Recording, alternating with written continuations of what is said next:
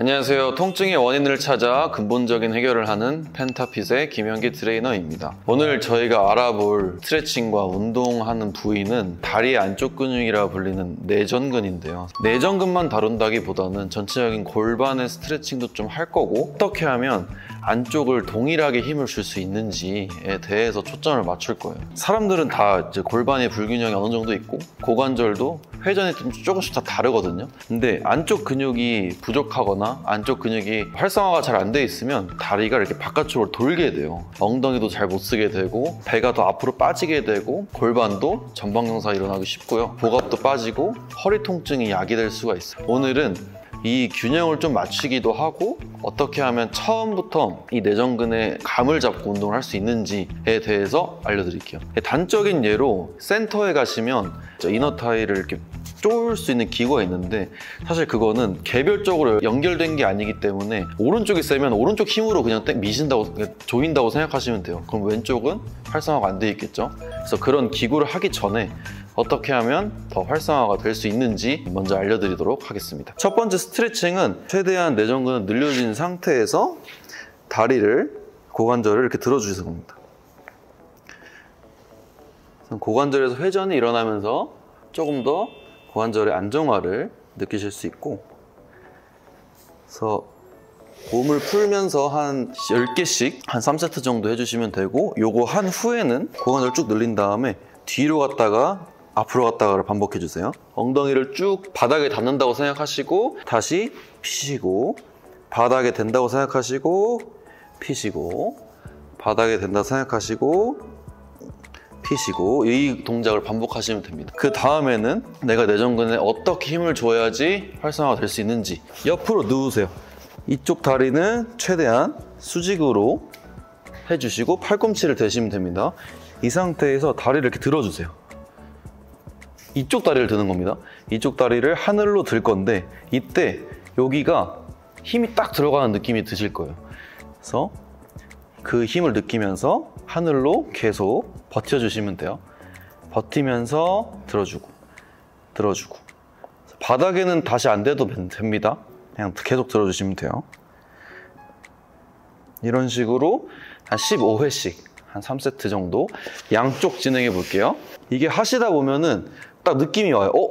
아까 내가 왼쪽 할 때는 되게 어려웠는데 오른쪽 할 땐 되게 쉽네? 그러면 오른쪽 내전근을 더 많이 사용하고 계신 거라고 생각하면 되고 왼쪽 내전근의 활성화가 좀 더 필요한 상황이라고 생각하셔도 돼요. 이런 식으로 자극을 줄 수 있습니다. 자, 이렇게 힘이 들어가는 걸 알았다라고 하면은 다음에는 이 폼롤러 위에 올라가서 하는 운동인데 사실 위험해 보일 수는 있어요. 이거를 뭐 의자를 잡고 한다든지 아니면 센터에 있는 벤치를 잡고 한다든지 해도 상관이 없습니다. 저는 벤치를 잡으면 카메라에서 가려져서 폼롤러를 잡고 있는 거고요. 아니면 더 좋은 거는 짐 스틱 같은 거를 양손에 다 잡고 하셔도 돼요. 이 상태에서 뒤꿈치를 모아줬다가 그대로 밖으로 나갑니다 끌고. 그러면 내전근에서 버티는 힘이 엄청나게 발생을 해요 그래서 왼쪽 오른쪽을 최대한 동시에 갔다가 동시에 올 수 있게. 최대한 동시에 갔다가 동시에 올 수 있게 반복해 주시면 됩니다. 이러면서 안쪽 근육을 좀 더 자극해 볼 수 있어요. 이렇게 이제 왼쪽 오른쪽에 균형을 잡힌 상태로 힘을 주었다라고 하시면 이제는 좀 더 어려운 버티는 운동이 들어갑니다. 처음에는 무릎을 대주세요 무릎을 대주시고 팔꿈치에 힘을 강하게 바닥으로 꽂은 다음에 몸을 들어줄 겁니다. 이 상태에서 처음에는 버티기만 하세요. 한 20초에서 30초 정도만 버티는 걸로 먼저 연습을 하시고 그 다음에 수월하다, 버티는 게 수월하다, 여기 힘이 느껴진다 라고 하시면 상하로 움직이시면 돼요. 내려갔다가 쭉 올리시고 하나 이때 힘 주면서 둘 셋, 넷, 다섯 이렇게 하시면 돼요.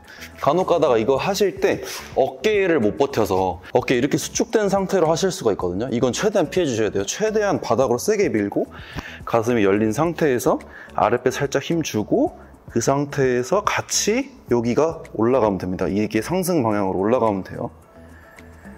오늘 이렇게 해서 내전근에 대해서 알아봤는데요. 이 내전근을 좀 더 안정화시키고 고관절도 조금 힘이 들어갈 수 있게 되면 보행이나 되게 안정감을 더 줄 수 있기 때문에 보행 시에 나타나는 통증, 뭐 허리 통증, 고관절 통증, 엉덩이 통증을 되게 줄일 수 있는 좋은 운동들이니까 처음에는 집에서 하셔도 되고 나중에는 센터 가셔서도 한 번씩 해보시면 좋을 것 같습니다. 오늘 내용이 도움이 됐거나 만족스러우셨다면 구독과 좋아요 꼭 눌러주시고요. 다음에는 더 좋은 운동들로 찾아뵙도록 하겠습니다. 감사합니다.